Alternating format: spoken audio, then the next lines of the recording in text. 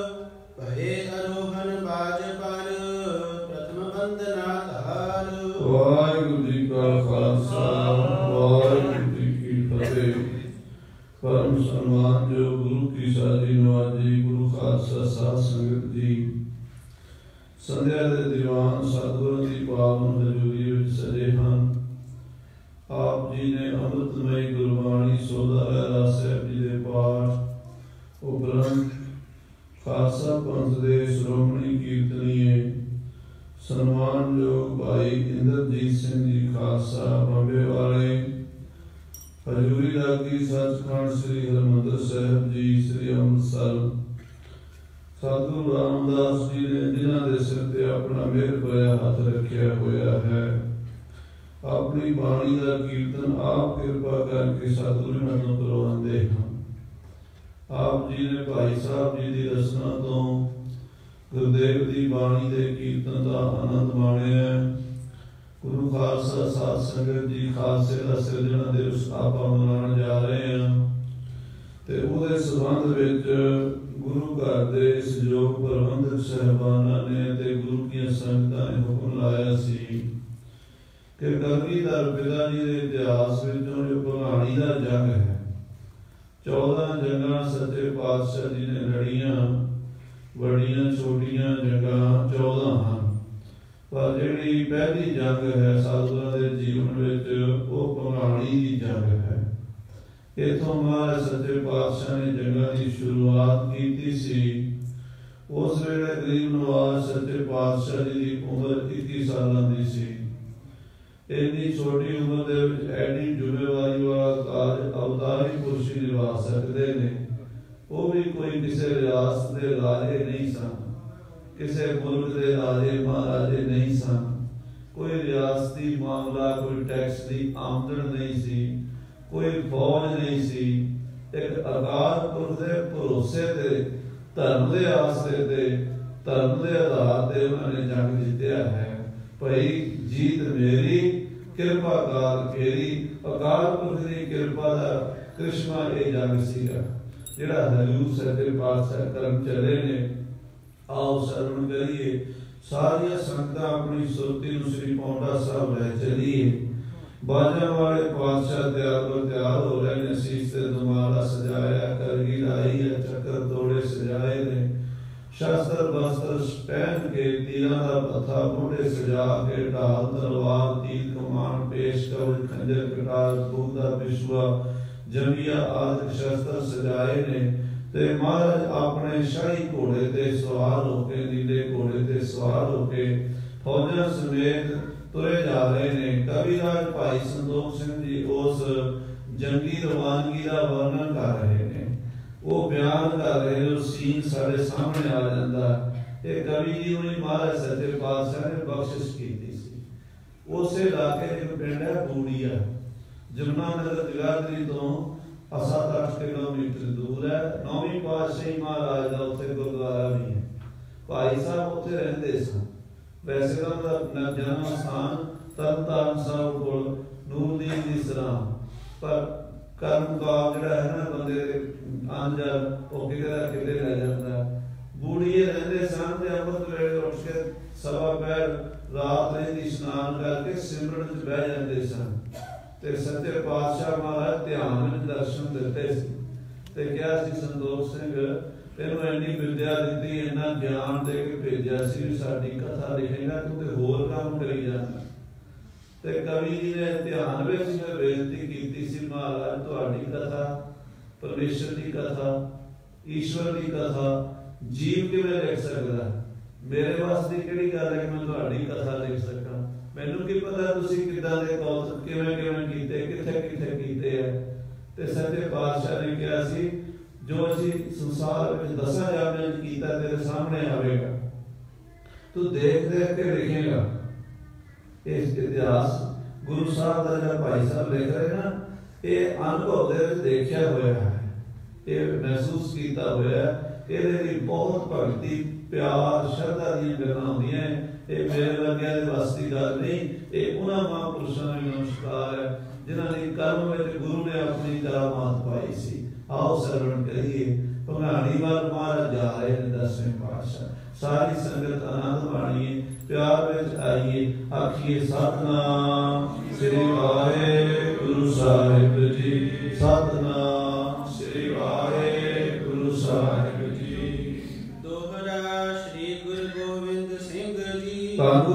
ਗੁਰੂ ਸਿੰਘ ਸਾਹਿਬ ਕਵੀ ਦਰਬਾਰ ਮਹਾਰਾਜ ਜੀ। ਰਣ ਸਮਾਜ ਕਰ ਤਿਆਰ। ਜੰਗੀ ਫੌਜਾਂ ਨਾਲ ਲੈ ਕੇ ਜੰਗ ਦਾ ਸਮਾਨ ਲੈ ਕੇ।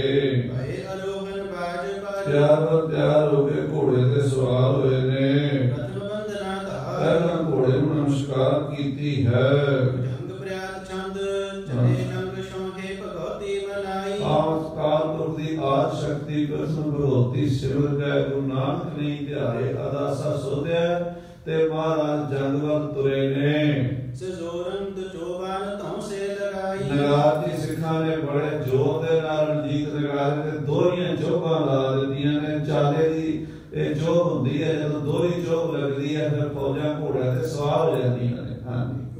ਬੰਬ ਉੱਚੀ ਗਰਮ ਸੈਲ ਗਾਜੇ ਜਦੋਂ ਮਹਾਰਾਜ ਦਾ ਨਗਾਰਾ ਵੱਜਿਆ ਹੈ ਉਹਦੀ ਗੂੰਜ ਦੇ ਨਾਲ ਬਾਈ ਧਾਰ ਦੀਆਂ ਪਹਾੜੀਆਂ ਗੂੰਜ ਉੱਠੀਆਂ ਨੇ।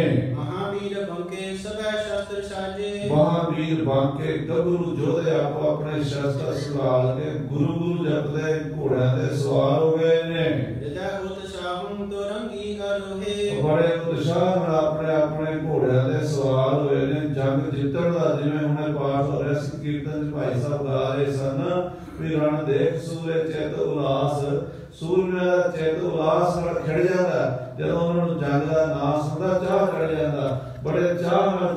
ਚੱਲੇ ਨੇ। ਸੂਰਮੇ ਗੁਰੂ ਸੰਗ ਚਾਲੇ ਮਹਾ ਜੰਗ ਸਾਹਿਬ ਦੇ ਨਾਲ ਇਹ ਸੂਰਮੇ ਜੋਧੇ ਜੰਗ ਕਰਨ ਲਈ ਚੜੇ ਨੇ। ਉਠੀ ਧੂਰ ਪੂਰਨ ਨਵੰ ਛਾਇ ਲੀਨਾ ਕਹਿੰਦੇ ਘੋੜਿਆਂ ਦੇ ਖੁਰਾਂ ਨਾਲ ਧਰਤੀ ਤੋਂ ਉੱਡ ਕੇ ਨਾ ਮਿੱਟੀ ਅਸਮਾਨ ਵਿੱਚ ਚੜ ਗਈ ਚੰਡੀ ਦੀ ਵਾਰ ਵਿੱਚ ਤੁਸੀਂ ਕਿਸੇ ਨੇ ਚੰਡੀ ਦਾ ਪਾਠ ਕੀਤਾ ਹੋਵੇ ਤੁਹਾਨੂੰ ਪੰਕਤੀ ਯਾਦ ਹੋਣੀ ਚਾਹੀਦੀ ਹੈ ਕਿ ਧੂੜ ਉਤਾਹਾਂ ਕਾਲੀ ਛੜੀ ਤਰੰਗਵਾ। ਤਰੰਗ ਕਹਿੰਦੇ ਘੋੜਿਆਂ ਨੂੰ, ਧੂੜ ਉਤਾਹਾਂ ਕਾਲੀ ਧਰਤੀ ਦੀ ਜਿਹੜੀ ਧੂੜ ਸੀ ਨਾ ਉਹਦਾ ਨੂੰ ਘਾਲ ਦਿੱਤੀ ਅਸਮਾਨ ਨੂੰ ਤੇ ਚੰਡੀ ਦਰਿੱਤਰ ਦੇ ਕੁਮਾਰ ਦਸਵੇਂ ਪਾਤਸ਼ਾਹ ਨੇ ਨਕਸ਼ਾ ਬੰਨਿਆ। ਉਹ ਕਹਿੰਦੇ, ਧਰਾ, ਖੱਡ ਆਠ ਆਕਾਸ਼ ਬਣਾਏ। ਕਹਿੰਦੇ ਨੇ, ਸੱਤ ਥੱਲੇ ਨੇ, ਸੱਤ ਉੱਤੇ ਨੇ। 14 ਤਾਂ ਉਹ ਨੇ ਨਾ।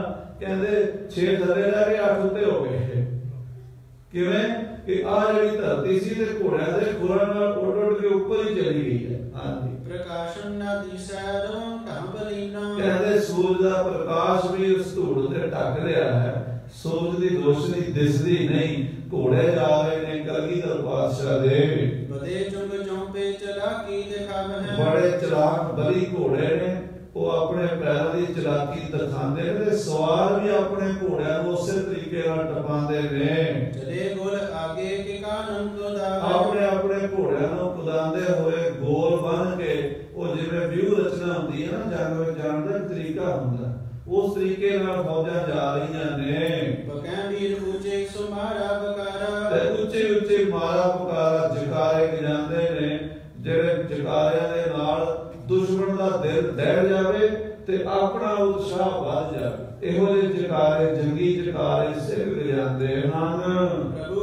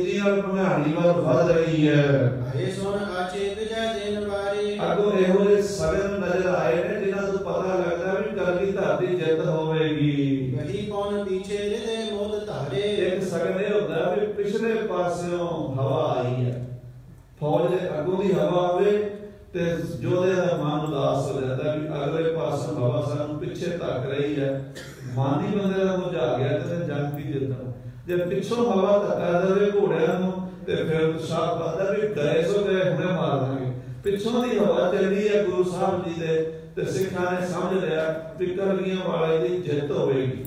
ਭੁਜਾ ਦੰਡ ਦੋਨੋਂ ਪ੍ਰਭੂ ਕੇ ਫਰਮ ਕੇ ਦਸਵੇਂ ਪਾਤਸ਼ਾਹ ਦੇ ਦੋਵੇਂ ਡੋਲੇ ਫਰਕੇ। ਜੇ ਡੋਲੇ ਫਰਕਣ ਨਾ ਤੇ ਸੂਰਮੇ ਨੂੰ ਲੱਗਦਾ ਵੀ ਹੁਣ ਮੇਰੀ ਜਿੱਤ ਹੋਵੇਗੀ। ਹਾਂਜੀ। ਮ੍ਰਿਗਨ ਮਾਰ ਦਾਏ ਬਲਾਈ ਅਤੰਕੇ। ਤੀਜਾ ਸਗਨ ਇਹ ਨਜ਼ਰ ਆਇਆ ਵੀ ਮਿਰਗਾਂ ਦਾ ਝੁੰਡ ਹਿਰਨਾਂ ਦਾ ਝੁੰਡ ਸੱਜੇ ਪਾਸੇ ਨੂੰ ਦੌੜ ਗਿਆ ਹੈ ਡਰ ਕੇ। ਜਿਵੇਂ ਸ਼ੇਰ ਤੋਂ ਹਿਰਨ ਡਰ ਕੇ ਦੌੜਦੇ ਨੇ ਇਦਾਂ ਕਰਦੀ ਧਰ ਦੇ ਅੱਗੇ ਪਹਾੜੀਏ ਦੌੜਨਗੇ ਇਹ ਵੀ ਨਿਸ਼ਾਨੀਆਂ ਨਜ਼ਰ ਆ ਗਈਆਂ। ਇਸੀ ਰੀਤ ਚਾਲੇ ਪਹੁੰਚੇ ਭੰਗਾੜੇ ਇਸ ਤਰ੍ਹਾਂ ਮਹਾਰਾਜ ਦਾ ਖਾਲਸਾ ਮਹਾਰਾਜ ਦੀਆਂ ਫੌਜਾਂ ਬੜੇ ਉਤਸ਼ਾਹ ਦੇ ਨਾਲ ਜਕਾਰੇ ਵਜਾਉਂਦੇ ਭਗਾਣੀ ਦੇ ਮੈਦਾਨ 'ਚ ਪਹੁੰਚ ਗਈਆਂ। ਦਇਆ ਰਾਮ ਦੇਖੀ ਗੁਰੂ ਸੋ ਵਖਾਣੀ ਭਾਈ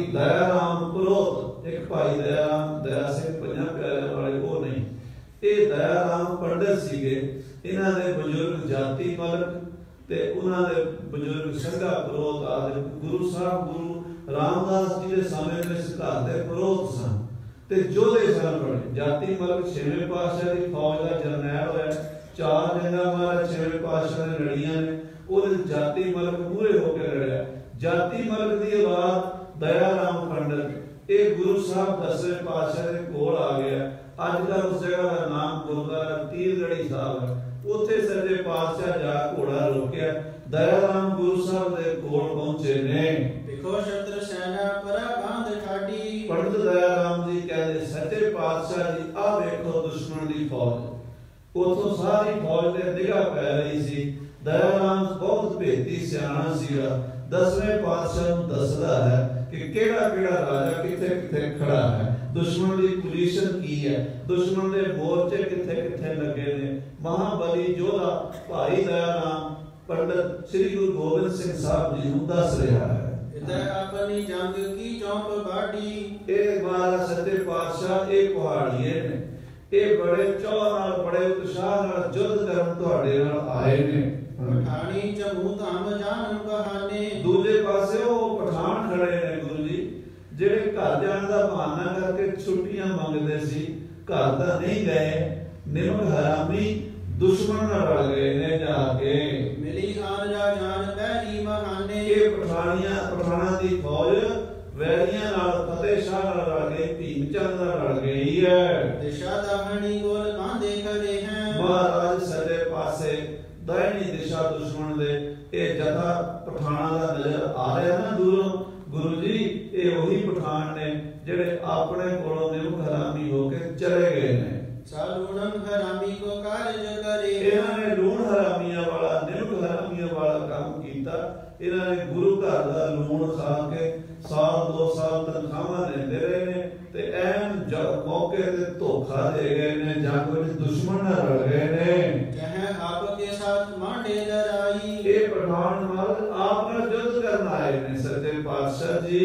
ਜੀ ਮਹਾ ਦੁਸ਼ਟ ਦੋਖੀ ਨਹੀਂ ਲਾਜ ਆਈ ਪੰਡਤ ਦਇਆ ਰਾਮ ਕਹਿੰਦਾ ਮਹਾਰਾਜ ਬੜੇ ਦੁਖੀ ਦੁਸ਼ਟ ਬੇਸ਼ਰਮ ਬੰਦੇ ਨੇ ਲਾਜ ਨਹੀਂ ਆਈ ਵੀ ਅਸੀਂ ਗੁਰੂ ਦਾ ਲੂਣ ਖਾਦਾ ਤੇ ਗੁਰੂ ਨਾਲ ਹੀ ਲੜਨ ਆ ਗਏ ਹਾਂ। ਸਭੋਂ ਕੇ ਪਿਛਾਰੀ ਫਤਿਹ ਸ਼ਾਹੀ ਔਰ ਠਾਂਡਾ ਮਹਾਰਾਜ ਦਾ ਫੌਜਾਂ ਦੇ ਸਭ ਦੇ ਪਿੱਛੇ ਬੜੀ ਸੋਹਣੀ ਘੋੜੇ ਦੀ ਕਾਠੀ ਸੁਨਹਿਰੀ ਦੇ ਉੱਤੇ ਕਲਗੀ ਲਾਈ ਹੋਈ ਹੈ ਰਾਜਾ ਫਤਿਹ ਸ਼ਾਹ ਖੜਾ ਹੈ ਨਹੀਂ ਅਗਰ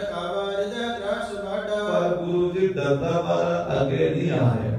ਉਹ ਪਿੱਛੇ ਖੜਾ ਹੈ ਇਥੋਂ ਪਤਾ ਲੱਗਦਾ ਵੀ ਉਹਦਾ ਹੌਸਲਾ ਕਿੰਨਾ ਹੈ। ਜੇ ਸੂਰਮਾ ਮਰਦ ਦਲੇਰ ਹੁੰਦਾ ਤੇ ਸਾਹਮਣੇ ਆ ਕੇ ਖਲੋਂਦਾ ਪਿੱਛੇ ਖੜਾ ਹੈ ਉਹ ਡਰਦਾ ਵੀ ਹੈ।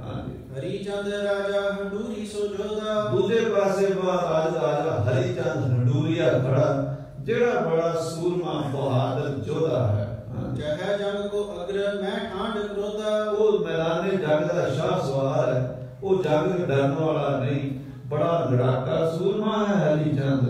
ਬੜੀ ਬਾਨ ਵਿਦਿਆ ਜਿਸੀ ਪਾਸ ਆਵੇ। ਮਹਾਰਾਜ ਬਾਈ ਧਾਰ ਦੇ ਰਾਜਿਆਂ ਵਿੱਚੋਂ ਹਰੀ ਚੰਦ ਵਰਗਾ ਤੀਰ ਅੰਦਾਜ਼ ਕੋਈ ਨਹੀਂ। ਉਹਨੂੰ ਤੀਰ ਚਲਾਉਣ ਦੀ ਵਿਦਿਆ ਰੱਬ ਨੇ ਦਿੱਤੀ ਹੋਈ ਹੈ ਤੇ ਹਰ ਮੈਦਾਨ ਉਹ ਆਪਣੇ ਤੀਰਾਂ ਨਾਲ ਫਤਿਹਯਾਬ ਹੁੰਦਾ ਹੈ। ਲਗੈ ਅੰਗ ਜਾਗੇ ਤਿਸੀ ਕਾਲ ਘਾਵੇ। ਜਿਹਨੂੰ ਵੀ ਅੱਜ ਤਾਈਂ ਹਰੀ ਚੰਦ ਨੇ ਤੀਰ ਮਾਰਿਆ ਹੈ ਉਹ ਬਚ ਨਹੀਂ ਸਕਿਆ ਗੁਰੂ ਜੀ। ਉਹ ਇੱਕੋ ਤੀਰ ਨਾਲ ਦੁਸ਼ਮਣ ਨੂੰ ਫਤਿਹ ਕਰ ਦਿੰਦਾ ਮਾਰ ਦਿੰਦਾ ਹੈ। ਮਹਾਸੂਰ ਹੰਕਾਰ ਧਾਰੀ ਇਹ ਉਦਾਰ ਮਹਾਸੂਰਮਾ ਹੈ ਮਹਾਜੋਧਾ ਹੈ। ਇਸੇ ਕਰਕੇ ਆਪਣੀ ਸੂਰਮਗਤੀ ਦਾ ਆਪਣੀ ਸ਼ਸਤਰ ਵਿਦਿਆ ਦਾ ਹੰਕਾਰ ਵੀ ਬੜਾ ਹੈ। ਲਖੈ ਉਜ ਜਾਂਕੋ ਗਿਰਮ ਦੇਸ਼ ਸਾਰਾ। ਸਾਰੇ ਬਾਈ ਧਾਰ ਦੇ ਰਾਜੇ ਇਹਦੇ ਪ੍ਰਤਾਪ ਨੂੰ ਮੰਨਦੇ ਇਹਦੇ ਤੀਰਾਂ ਤੋਂ ਡਰਦੇ ਨੇ। ਛੇਤੀ ਕੀਤਾ ਇਹਦੇ ਮੁਕਾਬਲੇ ਦੇ ਕੋਈ ਸੂਰਮਾ ਆਉਂਦਾ ਨਹੀਂ ਗੁਰੂ ਜੀ। ਕਈ ਬਾਰ ਰਾਜਾਨ ਸੋ ਮੇਲ ਮੇਰਾ। ਕਈ ਵਾਰ ਮੈਂ ਬਾਈ ਧਾਰ ਦੇ ਰਾਜਿਆਂ ਨੂੰ ਮਿਲਿਆ ਹਾਂ।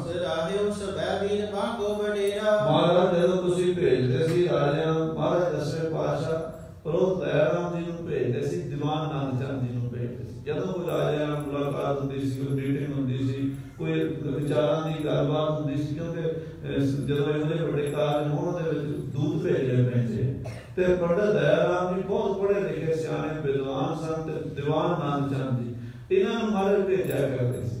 ਤੇ ਦੀਵਾਨ ਪ੍ਰੋਤ ਦੱਸ ਰਿਹਾ ਕਹਿੰਦਾ ਮਹਾਰਾਜ ਤੁਹਾਡਾ ਭੇਜਿਆ ਕਈ ਵਾਰੀ ਇਹਨਾਂ ਰਾਜਿਆਂ ਕੋਲ ਗਿਆ ਤੇ ਸਾਰੇ ਰਾਜਿਆਂ ਦੇ ਮੂੰਹ ਤੋਂ ਹਰੀ ਚੰਦ ਦੀ ਤਾਰੀਫ ਸੁਣੀ ਹੈ। ਦਇਆ ਰਾਮ ਭਾਖੀ ਸੁਨੀ ਬਾਤ ਸਾਰੀ ਜਦੋਂ ਦਇਆ ਰਾਮ ਨੇ ਦੁਸ਼ਮਣ ਦੀਆਂ ਫੌਜਾਂ ਦਾ ਵੇਰਵਾ ਦਿੱਤਾ ਉਹਨਾਂ ਦੀਆਂ ਫੌਜਾਂ ਕਲਗੀਧਰ ਪਾਤਸ਼ਾਹ ਜੀ ਨੇ ਸੁਣਿਆ।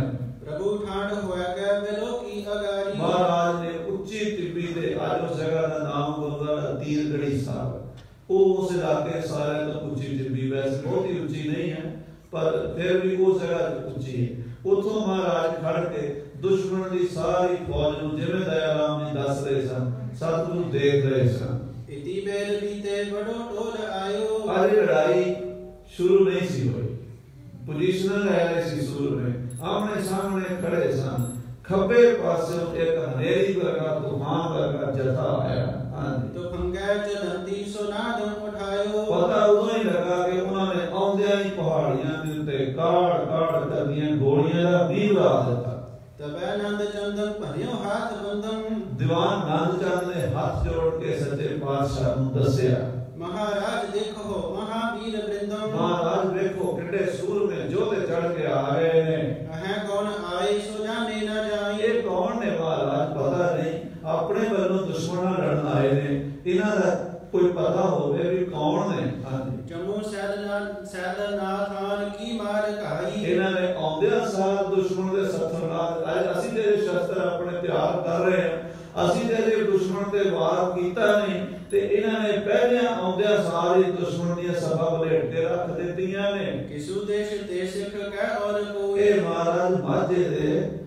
ਮਾਲਵੇ ਦੇ ਜਾਂ ਦੁਆਬੇ ਦੇ ਜਾਂ ਕਿਸੇ ਹੋਰ ਦੇਸ਼ ਦੇ ਸਿੱਖ ਨੇ ਜਾਂ ਕੋਈ ਹੋਰ ਹਨ ਦਿਸ਼ਾ ਹੋ ਹੋਇ ਹਮਾਰੀ ਚਾਹ ਅਗਰ ਇਹ ਟੋਈ ਕੌਣ ਨੇ ਮਹਾਰਾਜ ਜਿਹੜੇ ਸਾਡੇ ਵਾਸਤੇ ਦੁਸ਼ਮਣ ਨਾਲ ਲੜਨ ਆ ਗਏ ਨੇ? ਪਰਾ ਇੱਕ ਪਾਸੇ ਖੜੇ ਜੰਗ ਮੰਡੇ। ਮਹਾਰਾਜ ਇੱਕ ਪਾਸੇ ਇਹਨਾਂ ਨੇ ਮੋਰਚਾ ਮਾਰ ਲਿਆ ਤੇ ਦੇਖੋ ਕਿਵੇਂ ਗੋਲੀਆਂ ਚਲਾ ਰਹੇ ਨੇ ਤੂਫਾਨ ਦੀ ਤਰ੍ਹਾਂ ਆਏ ਨੇ ਜਿਵੇਂ ਤੂਫਾਨ ਆਉਂਦਾ ਤੇ ਆਉਂਦਿਆਂ ਸਾਰ ਦੁਸ਼ਮਣ ਦੇ ਦਰਾਂ 'ਚ ਖਲਬਲੀ ਪਹੁੰਚਾ ਦਿੱਤੀ ਇਹਨਾਂ ਨੇ। ਪਹਾੜੀ ਰੂਪੈ ਤੁਫੰਗਾਨ ਝੰਡੇ ਪਹਾੜੀ ਦੁਸ਼ਮਣਾਂ ਦੇ ਉੱਤੇ ਇਹ ਗੋਲੀਆਂ ਦਾ ਵੀ ਬਣਾਉਣ ਵਾਲੇ ਕੌਣ ਨੇ ਗੁਰੂ ਜੀ? ਪ੍ਰਭੂ ਦੀ ਠਡਾਰੀ ਬਿਲੋ ਕੇ ਸਿਪਾਹੀ। ਦਸਵੇਂ ਪਾਤਸ਼ਾਹ ਨੇ ਉਸ ਪਾਸੇ ਵੇਖਿਆ ਖੱਬੇ ਪਾਸੇ ਅੱਧੇ ਕਮੀਲ ਦੇ ਉੱਤੇ ਲੜਾਈ ਸ਼ੁਰੂ ਹੋ ਰਹੀ ਸੀ। ਉੱਥੇ ਰੌਲਾ ਪੈ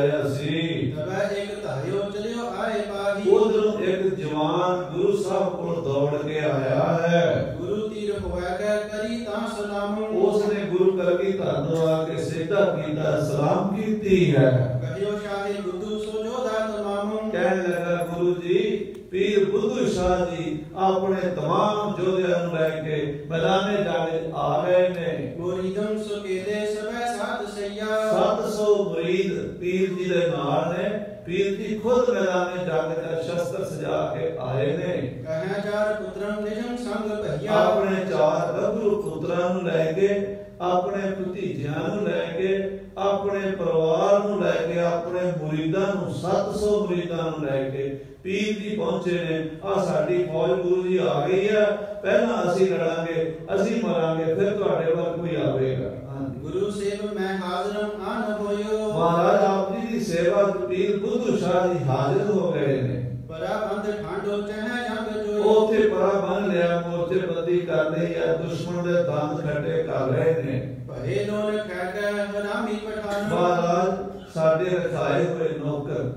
500 ਪਠਾਨ ਜਿਹੜੇ ਪੀਰ ਜੀ ਨੇ ਤੁਹਾਡੇ ਕੋਲ ਨੌਕਰ ਲਵਾਏ ਸੀ। ਸੁਨੀ ਬਾਤ ਸਾਰੀ ਸੋ ਹੈ ਭੰਗ ਖਾਨਮ ਉਹਨਾਂ ਦੇ ਦਗਾ ਕਰਨ ਦੀ ਉਹਨਾਂ ਦੇ ਭੱਜ ਜਾਣ ਦੀ ਖਬਰ ਸੁਣ ਕੇ ਪੀਰ ਬੁੱਧੂ ਸ਼ਾਹ ਜੀ ਨੂੰ ਬੜਾ ਅਫਸੋਸ ਹੋਇਆ। ਉਹਨਾਂ ਨੇ ਬੜਾ ਦੁੱਖ ਮਹਿਸੂਸ ਕੀਤਾ ਵੀ ਅਸੀਂ ਜ਼ਿੰਮੇਵਾਰੀ ਲਈ ਸੀ ਅਸੀਂ ਨੌਕਰ ਰਖਾਏ ਸੀ ਗੁਰੂ ਸਾਹਿਬ ਕੋਲ ਤੇ ਇਹ ਨਿਰਭ ਹਰਾਮੀ ਹੋ ਗਏ ਨੇ। ਇਹਨਾਂ ਨੇ ਸਾਡਾ ਨਾਮ ਬਦਨਾਮ ਕੀਤਾ ਸਾਡੀ ਜ਼ਿੰਮੇਵਾਰੀ ਸੀ ਤੇ ਸਾਨੂੰ ਇਹ ਇਹ ਲਾਂਭਾ ਦਵਾਇਆ ਹੈ। ਹਾਂਜੀ। ਇਸੀ ਹੇਤ ਤੇ ਅਨ ਮੌਜੂਦ ਹੋਵਾ। ਇਸ ਕਰਕੇ ਪੀਰ ਬੁੱਧੂ ਸ਼ਾਹ ਜੀ ਫਟਾਫਟ ਜਿੰਨੀ ਤਿਆਰੀ ਰਾਤੋਂ ਰਾਤ ਹੋ ਸਕਦੀ ਸੀ ਸਾਸਨ ਦੀ ਰਾਤੋਂ ਰਾਤ 700 ਬੰਦੇ ਇਕੱਠੇ ਕਰਨੇ ਹਥਿਆਰਾਂ ਦਾ ਬੰਦੋਬਸਤ ਕਰਨਾ ਤੇ ਫਿਰ ਮੈਦਾਨੇ ਜੰਗ 'ਚ ਜਾਣਾ। ਮੈਦਾਨੇ ਜੰਗ ਦੇ ਵਿੱਚ ਸਾਲ ਪਹਿਲਾਂ ਕਿਹਾ ਹੋਵੇ ਤੇ ਅਗਲਾ 100 ਬਹਾਨੇ ਕਰ ਲੈਂਦਾ ਲੜਾਈ ਨੂੰ ਕੌਣ ਜਾਂਦਾ ਪਰ ਗੁਰੂ ਵਾਸਤੇ ਮਰਨ ਵਾਲੇ ਸਿਰਕੀ ਵੀ ਹੁੰਦੇ ਆ।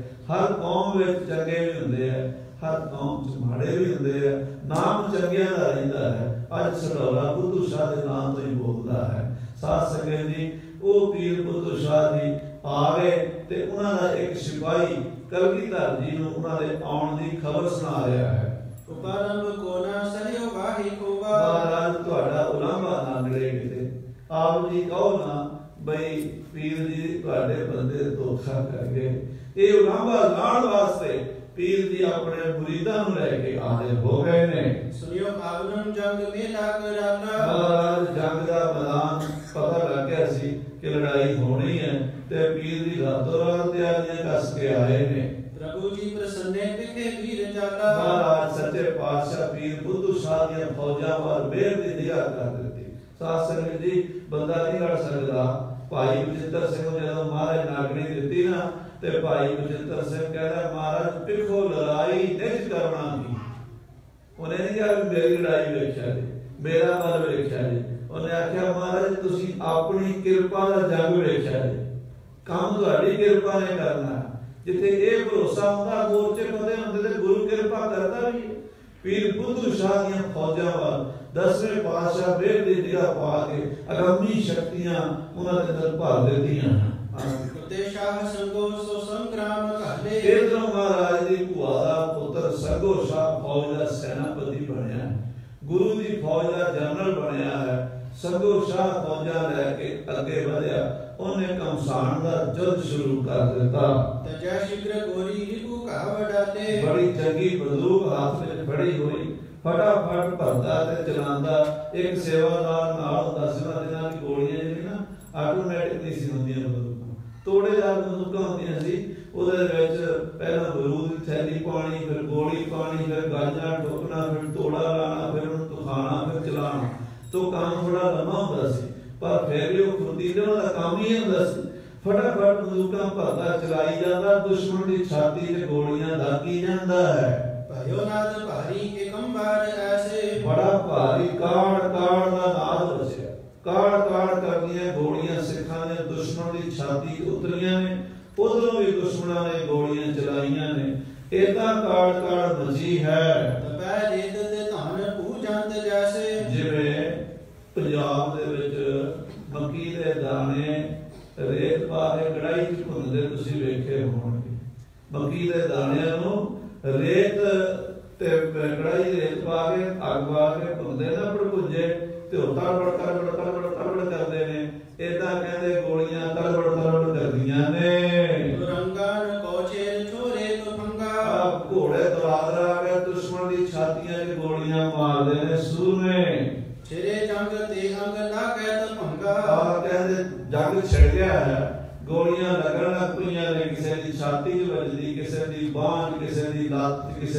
ਦੀ ਵੱਖੀ ਕਿਸੇ ਦੇ ਮੱਥੇ?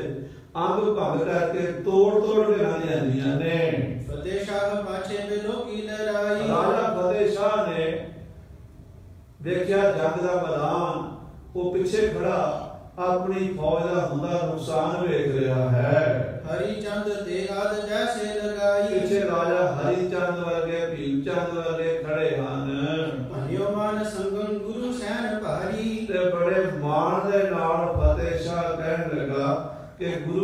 ਸਿੰਘ ਦੀ ਫੌਜ। ਕਹਾਂ ਦੇ ਬਟੋਰੀ ਸਮੂਹੰ ਨਿਹਾਰੀ ਕਹਿੰਦੇ ਸੀ ਹੈ ਕੋਈ ਨਹੀਂ ਇਹ ਕਿੱਥੋਂ ਲਿਆ ਕੋ ਸਤਨਾਮ ਸ੍ਰੀ ਸੁਣਿਆ ਸੀ ਗੁਰੂ ਕੋਲ ਦੇ ਬੰਦੇ ਹੀ ਕੋਈ ਨਹੀਂ ਲੜਨ ਵਾਲੇ। ਆ ਕਿੱਥੋਂ ਆ ਗਏ ਇੰਨੇ ਬੰਦੇ ਲੜਨ ਵਾਲੇ? ਉਤੇ ਪੰਜ ਸੈਖਾਨ ਸੋ ਚੋਰ ਆਏ। 500 ਪਠਾਨਾਂ ਦੀ ਸਾਨੂੰ ਸੀਆਈਡੀ ਮਿਲੀ ਸੀ ਗੁਰੂ ਕੋਲ 500 ਪਠਾਨ ਲੜਾਕੇ ਸੂਰਮੇ ਹਨ। ਪਰ ਉਹਦੇ ਗੁਰੂ ਨੂੰ ਛੱਡ ਕੇ ਸਾਡੇ ਨਾਲ ਰਲ ਗਏ। ਤੇ ਆਹ ਕਿੱਥੋਂ ਗੰਮੀ ਫੌਜਾਂ ਉਤਰ ਆਈਆਂ ਹਮਾਰੀ ਦਿਸ਼ਾ ਹੋਏ ਸ਼ਸਤਰਮ ਚਲਾਏ। ਉਹ ਸਾਡੇ ਵੱਲ ਹੋ ਗਏ ਪਠਾਨ ਤੇ ਸਾਡੇ ਵੱਲੋਂ ਲੜ ਰਹੇ ਨੇ ਸ਼ਸਤਰ ਚਲਾ ਰਹੇ ਨੇ। ਅਬੈ ਹੋਏ ਆਗੇ ਕਰੋ ਜੰਗ ਭਾਰਾ। ਤੇ ਹੁਣ ਤਾਂ ਹਰੀ ਚੰਦ ਜੀ ਤੁਹਾਨੂੰ ਅੱਗੇ ਹੋਣਾ ਪੈਣਾ। ਹੁਣ ਵਧੋ ਅੱਗੇ ਵਿਖਾਓ ਆਪਣੇ ਤੀਰਾਂ ਦਾ ਕ੍ਰਿਸ਼ਮਾ। ਹੁਣ ਗੁਰੂ ਦੀ ਫੌਜ ਨੂੰ ਮਾਤ ਦਈਏ। ਪ੍ਰਹਾਰੋ ਭਲੀ ਪੰਦ ਤੇ ਲੋਭ ਧਾਰਾ। ਆ ਹੁਣ ਲੋਹਾ ਤੇ ਲੋਹਾ ਖੜਕਾ ਦਿਓ। ਗੁਰੂ ਨੂੰ ਮਾਰ ਕੇ ਭਜਾ ਦਿਓ ਹਰੀ ਚੰਦ ਬੋਲਿਓ ਪਠਾਨ ਮਹਾਨਾ। ਫਤਿਹ ਸ਼ਾਹ ਦੀ ਗੱਲ ਸੁਣ ਕੇ ਹਰੀ ਚੰਦ ਰਾਜਾ ਬੋਲਿਆ। ਗੁਰੂ ਭਿਤ ਸਾਰੋ ਜਥਾ ਜੋਗ ਜਾਨਾ। ਕਹਿਣ ਲੱਗਾ ਕਿ ਇਹਨਾਂ ਪਠਾਨਾਂ ਨੂੰ ਗੁਰੂ ਦਾ ਜ਼ਿਆਦਾ ਭੇਦ ਹੈ। ਆਪਾਂ ਇਹਨਾਂ ਨੂੰ ਅੱਗੇ ਕਰੀਏ। ਇਹ ਅੱਗੇ ਹੋ ਕੇ ਲੜਨ ਗੁਰੂ ਦੇ ਨਾਲ। ਇਹ ਹੀ ਗੁਰੂ ਨੂੰ ਭਜਾ ਦੇਣਗੇ ਆਪਾਂ ਨੂੰ ਕੀ ਲੋੜ ਹੈ? ਖਾਮ ਖਾ ਮਰੀਏ। ਕਰੀ ਮਾਫ ਲੂਟਮ ਕਹੈ ਸੋ ਬਨਾਈ। ਇਹ ਕਹਿੰਦੇ ਸੀ ਨਾ ਪਠਾਨ ਵੀ ਸਾਨੂੰ ਲੁੱਟ ਦਾ ਮਾਲ ਮਾਫ ਕਰ ਦਿਓ ਤੇ ਲੜਾਂਗੇ ਅਸੀਂ ਆਪੇ। ਤੇ ਹੁਣ ਲੜਾਈ ਛਿੜ ਗਈ ਹੈ। ਇਹਨਾਂ ਨੇ ਲੁੱਟ ਮਾਰ ਸਾਰੀ ਕਰਨੀ ਹੈ। ਇਹਨਾਂ ਨੂੰ ਜੋ ਲੱਖਾਂ ਕਰੋੜਾਂ ਦਾ ਖਜ਼ਾਨਾ ਮਿਲਣਾ ਤੇ ਆਪਾਂ ਇਹਨਾਂ ਨੂੰ ਪਹਿਲਾਂ ਅੱਗੇ ਕਰੀਏ। ਬਿਨਾ ਮਨ ਸੈਨਾ ਹਮਾਰੀ ਲੜਾਈ। ਆ ਕਹਿੰਦੇ ਬਿਨਾਂ ਫੌਜ ਦੇ ਲੜਾਈ ਆਪਾਂ ਜਿੱਤੀਏ ਇਹਨਾਂ ਨੂੰ ਅੱਗੇ ਕਰਕੇ। ਸਹੀ ਨਾਹੇ ਜਾਵੇ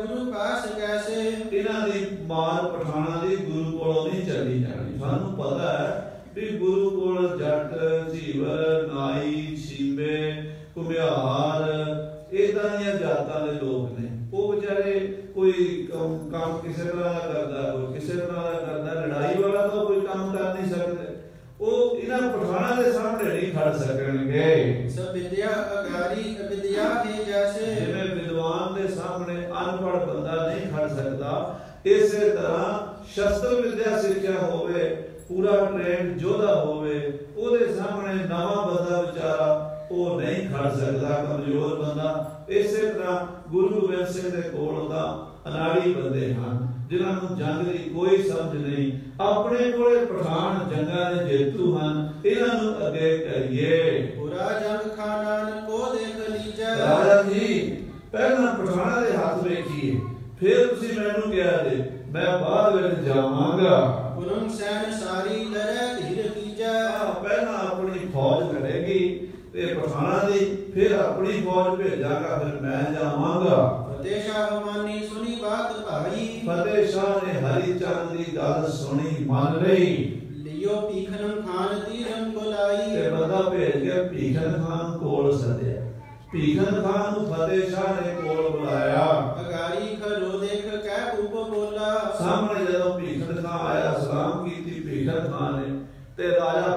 ਸ਼ਾਹ ਭੀਖਨ ਖਾਨ ਨੂੰ ਕਹਿਣ ਲੱਗਾ। ਕਹਾਂ ਦੇਰ ਕੀਨੀ ਖਰੇ ਦੇਖੋ ਓਲਾ? ਖਾਨ ਸਾਹਿਬ ਹੁਣ ਕਿਹੜੇ ਓਲੇ ਤੱਕਦੇ ਹੋ? ਹੁਣ ਕਿਉਂ ਓਟਾਂ 'ਚ ਖੜਦੇ ਹੋ? ਕਿਉਂ ਦੇਰ ਕਰਦੇ ਹੋ? ਤੁਸੀਂ ਕਹਿੰਦੇ ਸੀ ਵੀ ਗੁਰੂ ਦੇ ਕੋਲ ਕੋਈ ਬਹੁਤੇ ਬੰਦੇ ਲੜਾ ਕੇ ਕੋਈ ਨਹੀਂ ਤੇ ਇੱਕੋ ਚਪੇੜ ਨਾਲ ਮਾਰ ਲੈਣੇ ਨੇ ਤੇ ਫਿਰ ਮਾਰੋ ਹਲਾ। ਕਹੈ ਮਾਫ ਲੂਟਨ ਕਰੋ ਜੰਗ ਭਾਰਾ ਤੁਹਾਨੂੰ ਲੁੱਟਦਾ ਮਾਫ ਮਾਲ ਸਾਰਾ ਜਿੰਨਾ ਮਾਲ ਲੁੱਟੋਗੇ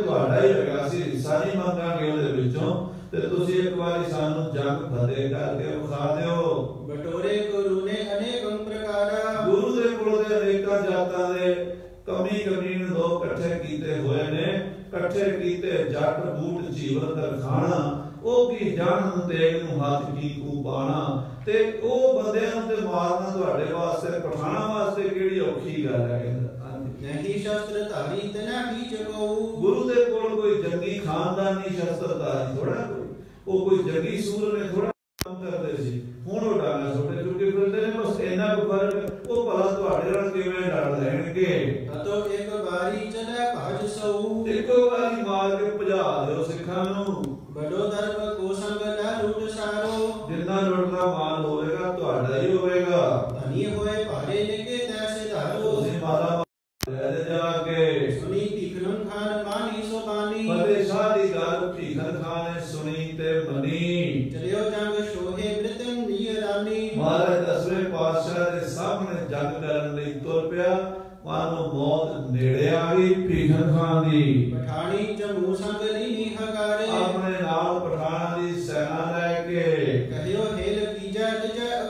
ਆਪਣੇ ਜੋਧਿਆਂ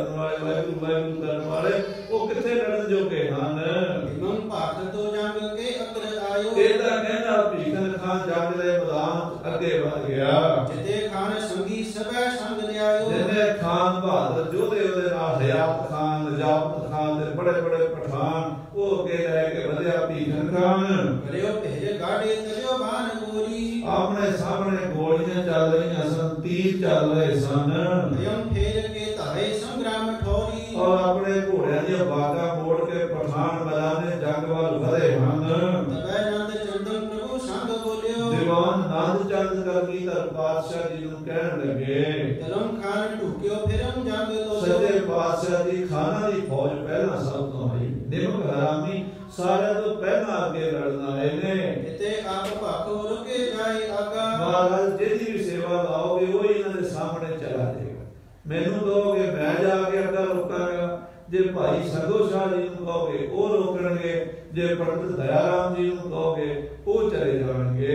ਤਦੋਂ ਖਾਨ ਦਰੋਹੀਨ ਕੋ ਦੋਸ਼ ਲਾਗਾ। ਮੈਨੂੰ ਹੁਕਮ ਦਿਓ ਮਹਾਰਾਜ ਇਹਨਾਂ ਨਿਰਭ ਹਰਾਮੀਆਂ ਦੇ ਲੋਕ ਚ ਮੈਂ ਵੀ ਤਾਲੀਆਂ ਲਾ ਰਹਾ ਮੈਂ ਇਹਨਾਂ ਦੇ ਸਿਰ ਵੜ ਵੜ ਸੁਟਾਂਗਾ।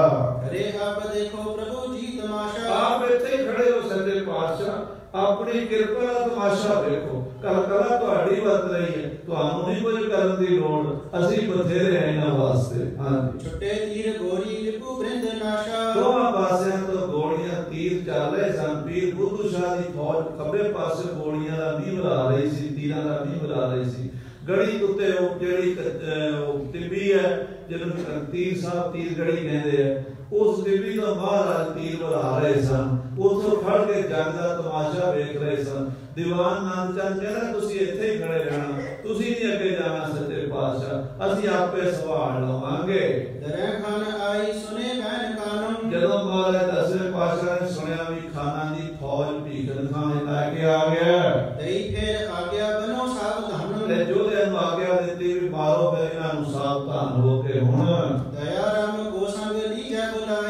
ਬੁਲਾਈ ਮਹਾਰਾਜ ਕਹਿੰਦੇ ਦਾਤ ਦੀਵਾਨ ਅਨੰਦ ਚੰਦ ਜੀ ਪੰਡਤ ਦਇਆ ਰਾਮ ਜੀ ਨੂੰ ਨਾਲ ਲੈ ਲਓ ਤਉ ਪੀਰ ਬੰਗੇ ਚਲੇ ਬਸ ਸਾਮਹਾਈ ਗੁਰੂ ਸਾਹਿਬ ਦਾ ਇਸ਼ਾਰਾ ਹੋਇਆ ਦੋਵੇਂ ਸੂਰਮੇ ਬਹੁਤ ਨਾਮੀ ਯੋਧੇ ਸਨ ਦਸਵੇਂ ਪਾਤਸ਼ਾਹ ਨੇ ਪੰਡਤ ਦਇਆ ਰਾਮ ਜੀ ਬਾਰੇ ਲਿਖਿਆ ਕਿ ਕੀ ਉਹ ਦ੍ਰੋਣ ਕੀ ਜੋ ਮਹਾ ਯੁੱਧ ਸੁਥਨ ਦ੍ਰੋਣਾਚਾਰਿਆ ਸੀ ਨਾ ਉਹ ਵੀ ਵੱਡਾ ਸੀ ਬਾਹਮਣ ਸੀਗਾ ਉਹ ਵੀ ਪਾਂਡਵਾਂ ਦਾ ਗੁਰੂ ਸੀ ਸ਼ਸਤਰ ਵਿਦਿਆ ਪਾਂਡਵਾਂ ਨੂੰ ਸਿਖਾਈ ਸੀ ਤੇ ਮਹਾਭਾਰਤ ਦੇ ਵਿੱਚ ਕਈ ਦਿਨ ਉਹ ਫੌਜ ਦਾ ਕਮਾਂਡਰ ਰਿਹਾ ਸੀ ਜੰਗ ਦਾ ਭੀਸ਼ਮ ਪਿਤਾਮੇ ਤੋਂ ਬਾਅਦ ਫੌਜ ਦੀ ਕਮਾਨ ਨੇ ਸੰਭਾਲੀ ਸੀ। ਕਿ ਉਹ ਦ੍ਰੋਣ ਕੀ ਜੋ ਮਹਾਯੁੱਧ ਸੁਤਰ ਦ੍ਰੋਣਾਚਾਰਿਆ ਦੀ ਤਰ੍ਹਾਂ ਪੰਡਤ ਦਇਆਰਾਮ ਜੀ ਮੈਦਾਨੇ ਜੰਗ ਵਿੱਚ ਗਏ ਨੇ। ਧਰੇ ਚਾਪ ਹਾਥਮ ਨਿਦੇ ਚੌਪ ਸੰਗਾ ਬੜੇ ਚਾਹ ਨਾਲ ਬੜੇ ਉਤਸ਼ਾਹ ਨਾਲ ਦਇਆਰਾਮ ਤੇ ਨੰਦ ਚੰਦ ਤੀਰ ਕਮਾਨ ਲੈ ਕੇ ਦੁਸ਼ਮਣ ਦੇ ਤੀਰਾਂ ਦਾ ਮੀਂਹ ਵਰਾ ਰਹੇ ਨੇ। ਤੀਰ ਮਾਰਦਾ ਹੈ ਦਇਆਰਾਮ ਤੇ ਦੀਵਾਨ ਨੰਦ ਚੰਦ। ਸੋ ਬੇਗ ਸੋ ਬੇਗਮ ਚਲੈ ਸ਼ੁਕ ਐਸੇ ਵੇ ਲੋਕੈ ਇਹਨਾਂ ਦੋਵਾਂ ਸੂਰਮਿਆਂ ਦੇ ਤੀਰ ਬੜੇ ਵੇਗ ਨਾਲ ਜਾਂਦੇ ਨੇ ਸ਼ੁਕਾਟੇ ਪਾਉਂਦੇ ਹੋਏ ਸ਼ੂ ਸ਼ੂ ਕਰਦੇ ਸ਼ਾਂ ਸ਼ਾਂ ਕਰਦੇ ਤੇ ਇੱਕ ਇੱਕ ਦੇ ਦੋ ਦੋ ਦੇ ਵਿੱਚੋਂ ਪਾਰ ਲੰਘ ਜਾਂਦੇ ਨੇ। ਉਡੈ ਪੰਖ ਸੋਨੰਗ ਦੋਰੈ ਇਹਨਾਂ ਅਰੋਕੈ ਦੇ ਤੀਰ ਇਦਾਂ ਦੇ ਨੇ ਮਾਨੋ ਉੱਡਣੇ ਸੱਪ ਹੁੰਦੇ ਹੋਣ। ਜਿਵੇਂ ਉੱਡਣਾ ਸੱਪ ਜਾ ਕੇ ਮੱਥੇ ਡੰਗ ਮਾਰਦਾ ਦਇਆਰਾਮ ਦਾ ਤੀਰ ਦੰਦ ਚੰਦ ਦਾ ਤੀਰ ਪਹਾੜੀਆਂ ਦੀਆਂ ਛਾਤੀਆਂ ਪਰੋਈ ਜਾਂਦਾ ਪਠਾਨਾਂ ਦੀਆਂ ਛਾਤੀਆਂ ਪਰੋਈ ਜਾਂਦਾ। ਧਨਮ ਖਾਨ ਬੀਤੇ ਪ੍ਰਵੇਸ਼ੇ ਸੁਤਾਈ। ਦਇਆਰਾਮ ਤੇ ਨੰਦ ਚੰਦ ਦੇ ਤੀਰਾਂ ਨੇ ਖਾਨਾਂ ਦੇ ਛਾਤੀਆਂ ਬਿੰਨ ਕੇ ਰੱਖ ਦਿੱਤੀਆਂ। ਗਿਰੇ ਘਾਏ ਲਾਗੇ ਤਨੋ ਮ੍ਰਿਤ ਪਾਈ। ਬੜੇ ਬੜੇ ਪਠਾਨ ਧੜਾਮ ਧੜਾਮ ਕਰਕੇ ਘੋੜਿਆਂ ਤੋਂ ਡਿੱਗੇ ਤੇ ਸਦਾ ਦੀ ਨੀਂਦ ਸੌ ਗਏ। ਮਹਾਰਾਜ ਮਹਾਰਾਜ ਦੇ ਕੋਲ ਇੱਕ ਭਾਈ ਲਾਲ ਚੰਦ ਖੜਿਆ ਸੀ। ਤੋ ਮਾਹੀ ਕੀ ਪਾਲ ਕੋ ਚਾਗ ਬਾਟੋ। ਇਹ ਮੱਝਾਂ ਦੀ ਸੇਵਾ ਕਰਿਆ ਕਰਦਾ ਸੀ ਪੱਠੇ ਪਾਣੇ ਖਰਕਣਾ ਕਰਨਾ ਮੱਝਾਂ ਦੀ ਸੇਵਾ ਨਹਾਉਣਾ ਧੋਣਾ ਦੁੱਧ ਚੋਣਾ ਤੇ ਉਹਨਾਂ ਦੀ ਸੇਵਾ ਕਰਨਾ ਮਾਈਕੀ ਪਾਲ। ਇਹ ਗੁਰੂ ਸਾਹਿਬ ਦੇ ਕੋਲ ਖੜਾ ਸੀ। ਜੋਰ ਜਾਮੈ ਕਰਮ ਜੋਰ ਭਾਖਾ ਸਰੀਰ ਕਰਕੇ ਤਗੜਾ ਸੀ ਕਿ ਮੱਝਾਂ ਦੀ ਸੇਵਾ ਕਰਦੀ ਦੁੱਧ ਚੰਗਾ ਛਕਣਾ ਉਹਦੀ ਫਿਰ ਕਈ ਵਾਰੀ ਰਬੜੀ ਰੁਬੜੀ ਬਣਾ ਕੇ ਜੋਧਿਆਂ ਨੂੰ ਛਕਾਣੀ ਇਸ ਕਰਕੇ ਹਲਵਾਈ ਵੀ ਲਿਖਿਆ ਕਈ ਜਗ੍ਹਾ ਤੇ ਕਿਉਂਕਿ ਦੁੱਧ ਦੇ ਹੱਥ ਹੁੰਦਾ ਸੀ ਤੇ ਦੁੱਧ ਦੇ ਖੋਆ ਮਾਰ ਕੇ ਛਕਾਣਾ ਤੇ ਹਲਵਾਈ ਦਾ ਕੰਮ ਵੀ ਕਰ ਲੈਂਦਾ ਸੀ। ਗੁਰੂ ਸਾਹਿਬ ਦੇ ਕੋਲ ਖੜਾ ਸੀ। ਤੇ ਜਗਤ ਆ ਗਿਆ ਮਹਾ ਮੋਹ ਪਿਲਾਖਾ। ਤੇ ਦ- ਲਾਲ ਚੰਦ ਹਲਵਾਈ ਮੈਖੀ ਪਾਲ ਸਤਿਗੁਰੂ ਜੀ ਨੂੰ ਕਹਿੰਦਾ ਸੱਚੇ ਪਾਤਸ਼ਾਹ ਮੈਨੂੰ ਜਗ ਦੀ ਆਗਿਆ ਦਿਓ। ਮਹਾ ਪੰਜ ਭਰਾਤਾ ਮਹਾ ਜਗ ਘਾਲਾ ਜਿੱਥੇ ਤੁਹਾਡੇ ਪੰਜ ਭਰਾ ਸੰਗੋ ਸ਼ਾਹ ਜੀਤ ਮਲ ਮਾਰੀ ਚੰਦ ਜੰਗਾ ਰਾਮ ਤੇ ਗੁਲਾਬ ਰਾਏ ਰਹੇ ਨੇ ਮੈਂ ਵੀ ਉੱਥੇ ਜਾ ਕੇ ਦੋ ਦੋ ਹੱਥ ਕਰਨੇ ਚਾਹੁੰਦਾ ਦੁਸ਼ਮਣਾਂ ਨਾਲ। ਤਹਾਂ ਜਾਏ ਕਹਿਣਾ ਤੋ ਖਾਨ ਜਾਲਾ ਮਹਾਰਾਜ ਜੀ ਉੱਥੇ ਜਾ ਕੇ ਮੈਂ ਖਾਣਾ ਨੂੰ ਮਾਰਨਾ ਚਾਹੁੰਦਾ ਆ ਕਸੇ ਦੀਨ ਤਾਹੇ ਜਾਵੋ। ਲਾਲ ਚੰਦ ਵੱਲ ਵੇਖ ਕੇ ਹੱਸ ਪਏ ਦਸਵੇਂ ਪਾਤਸ਼ਾਹ ਕਹਿਣ ਲੱਗੇ ਜਾ ਮਕਸੂਰ ਮਿਆ ਵਿਖਾ ਦੇ ਆਪਣੇ ਹੱਥ। ਤੋ ਤੀਰ ਤੀਖੇ ਪਠਾਨ ਉਹ ਪਲਾਵੋ ਮੈਰੀ ਦੀ ਛਾਤੀ ਤੇ ਤਿੱਖੇ ਤੀਰ ਮਾਰ ਕੇ ਭਜਾ ਦੇ ਇਹਨਾਂ ਨੂੰ ਸੁਨੇ ਮੈਂ ਸ਼ਰਨ ਚਲਿਓ ਚੌਂਕ ਸੰਗਾ ਕਹਿੰਦੇ ਲਾਲ ਚੰਦ ਨੇ ਕੀ ਪਾਲ ਗੁਰੂ ਸਾਹਿਬ ਦੇ ਬਚਨ ਸੁਣ ਕੇ ਚੱਲਿਆ? ਸੰਭਾਲੇ ਕੋ ਦੰਡਨ ਪਦਾਇਓ ਤਰੰਗਾ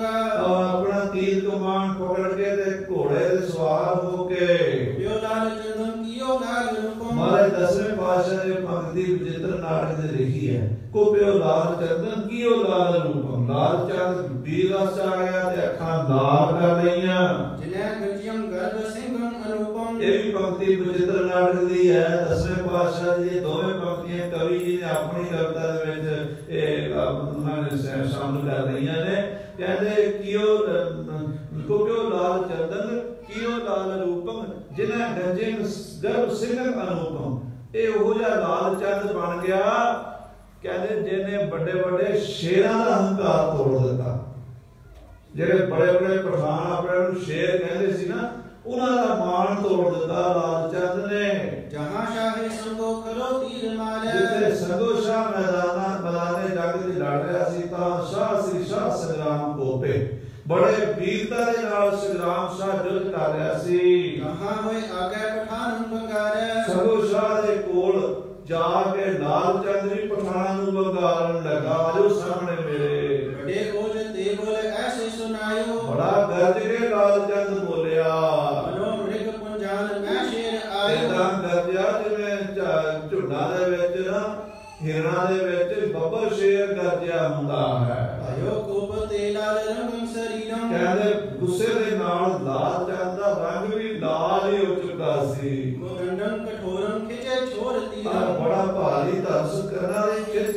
ਕੇ ਛੱਡਦਾ ਸੀ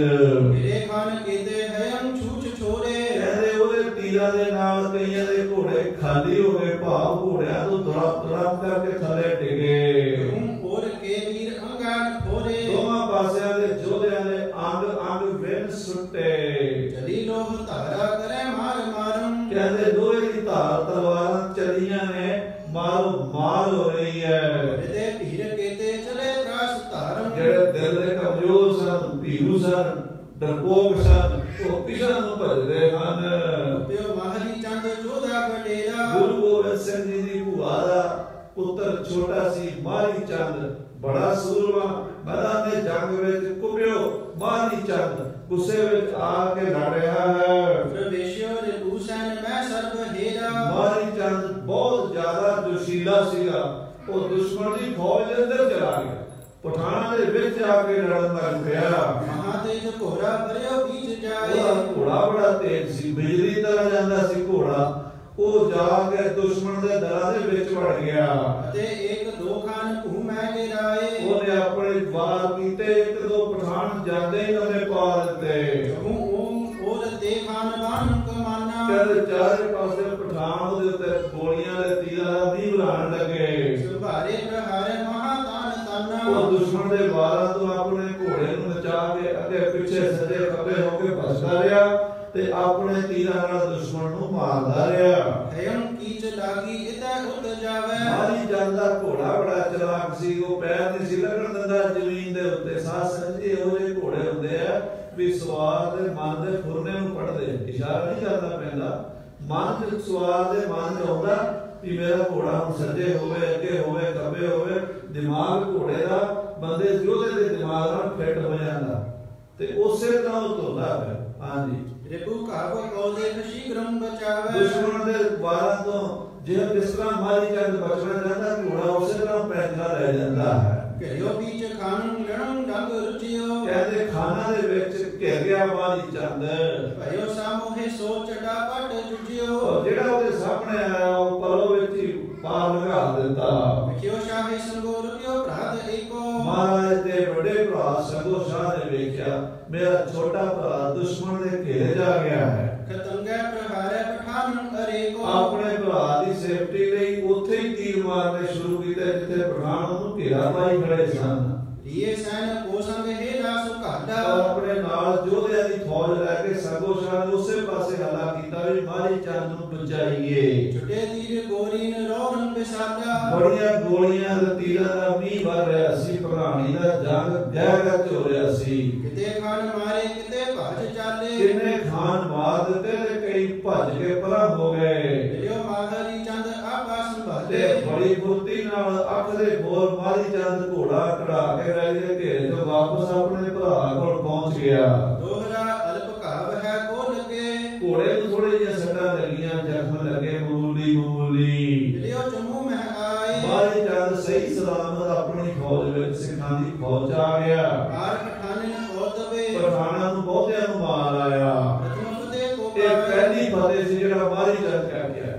ਇਹ ਪਹਿਲੀ ਫਤਿਹ ਸੀ ਜਿਹੜੀ ਜੰਗ ਦੀ ਉਹ ਮਾਰੀ ਜੰਗ ਨੇ ਕੀਤੀ। ਕਿੰਨਿਆਂ ਨੂੰ ਉਹਨਾਂ ਦੇ ਘੇਰੇ ਵਿੱਚ ਜਾ ਕੇ ਮਾਰ ਕੇ ਤੇ ਸਹੀ ਸਲਾਮਤ ਜਿਵੇਂ ਮੱਖਣ ਜੋ ਵਾਲ ਹੁੰਦਾ ਇਦਾਂ ਸਾਧਨਾ ਕੋਲ ਆ ਗਿਆ। ਹਾਂਜੀ। ਕਰਾ ਜਾਵੇ ਨਿਹੰਗ ਜਾਵੇ। ਸਤਿ ਸ੍ਰੀ ਅਕਾਲ ਬਹੁਤ ਤੇਰੇ ਸਨਮੁਖ ਹਤੇ ਫਿਰ ਕਹਿੰਦੇ ਸਾਹਮਣੇ ਜਿਹੜੇ ਰਸੂਲ ਨੇ ਖਲੋ ਕੇ ਲੜਨ ਲੱਗੇ। ਗਨਗੋਰੀ ਅਰਬਾਨ ਫਿਰ ਗੋਲੀਆਂ ਦੇ ਤੀਰ ਦਾ ਵੀ ਵਸਣ ਲੱਗਾ ਉਸੇ ਤਰ੍ਹਾਂ ਹੀ।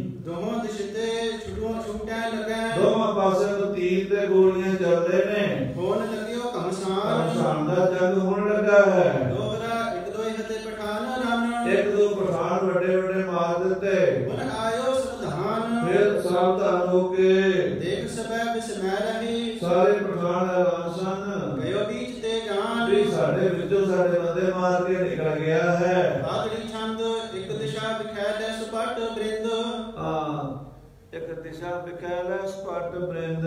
ਇੱਕ ਪਾਸੇ ਸਾਰੇ ਜੋਧਿਆਂ ਨੂੰ ਲੈ ਕੇ। ਰੁਕ ਰਹਿਓ ਸ਼ਾਹੇ ਬਦੂ ਬਿਲੰਦ। ਵੀਰ ਬੁੱਧੂ ਸ਼ਾਹ ਜੀ ਪੈਰ ਅੜਾ ਕੇ ਲੜ ਰਹੇ ਨੇ। ਜੋ ਬੁੱਧੀ ਛੇੜ ਕਰ ਬਤਨ ਪੇਰ। ਜਿਹੜੀ ਪਹਾੜੀਆਂ ਦੀ ਛੇੜ ਇਕੱਠੀ ਕੀਤੀ ਇੱਕ ਹੁੰਦੀ ਹੈ ਫੌਜ ਇੱਕ ਹੁੰਦੀ ਹੈ ਛੇੜ। ਇਹ ਆਪਣੇ ਪੰਜਾਬੀ ਬਜ਼ੁਰਗਾਂ ਨੂੰ ਪਤਾ ਇੱਕ ਵਾਰ ਵੀ ਕਹਿ ਦਿੰਦੇ ਨੇ, ਬੰਦੇ ਪਿੰਡਾਂ ਨੂੰ ਇਕੱਠੀ ਕਰ ਲੈਣੇ ਬੰਦੇ।